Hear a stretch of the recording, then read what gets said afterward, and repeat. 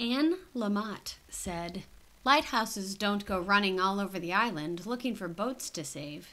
They just stand there shining.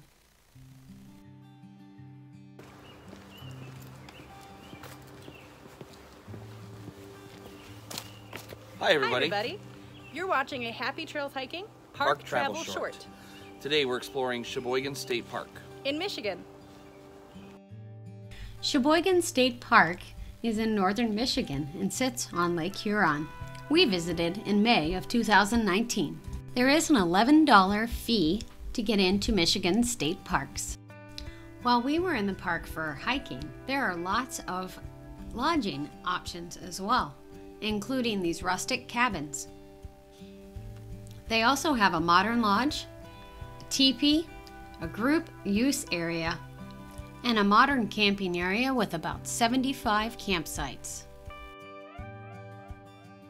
There are five short trails at Cheboygan State Park. They allow you to see the inland areas as well as the shoreline of Lake Huron. As you can see, it was a really wet year when we visited. We did manage to get in a few good miles and see some amazing things here at the state park.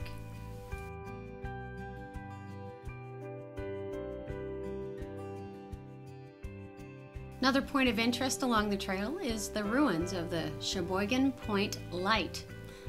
This is the second location for this lighthouse. It was built in 1851 and then rebuilt in 1859 and was in operation until 1930 by the United States Lighthouse Service. There's an extensive list of things to do throughout the year at Cheboygan State Park. They include boat rental, cross country skiing, fishing, hiking, hunting, metal detecting, mountain biking, swimming, wildlife watching, and winter camping.